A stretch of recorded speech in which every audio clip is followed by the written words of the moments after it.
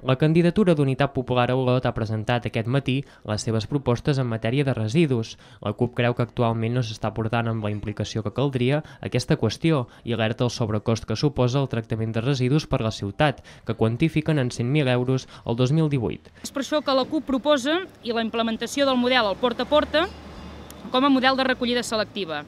L'eficiència d'aquest model, a nivell de selecció, ja va quedar demostrada durant la prova pilot que va realitzar el Consell Comarcal.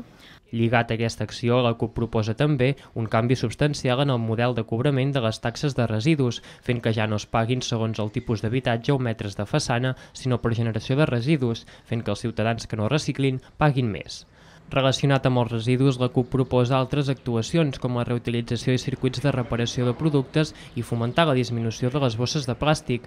Aquesta última fruit d'una moció seva que portava per títol la lliure de bosses de plàstic i que van presentar el 2013 quan encara no eren a l'Ajuntament. Que Convergència i Plataforma van votar en contra i ara mateix alguns s'estan posant medalles de que Olot serà una ciutat lliure de plàstic